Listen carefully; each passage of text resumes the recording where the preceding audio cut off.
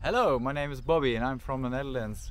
I'm a volunteer at Suerte del Molino farm in Andalusia, Spain, and I'm here together with my girlfriend Rowie.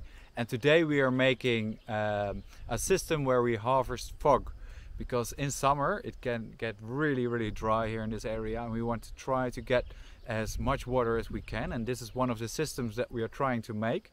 It's quite hard actually, but we, we managed to get some poles up and uh, you might have asked my girlfriend how she uh, likes it because it's quite quite hard today.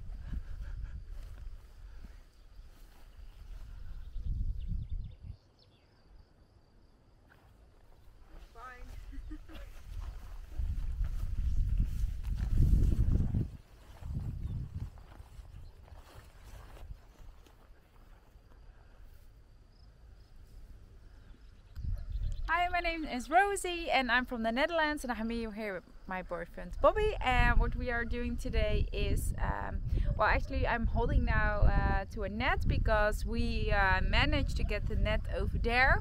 And then it is uh, that the fog is um, falling the water in the in the net from the fog is falling to the ground um, and then it will uh, go straight to the po ponds um, yeah, and I'm hanging now on the net and it's quite heavy. It feels a little bit like windsurfing here.